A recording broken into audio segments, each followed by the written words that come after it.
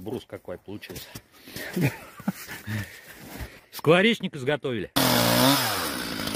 Как естественное дупло получается. Птичкам там, наверное, понравится.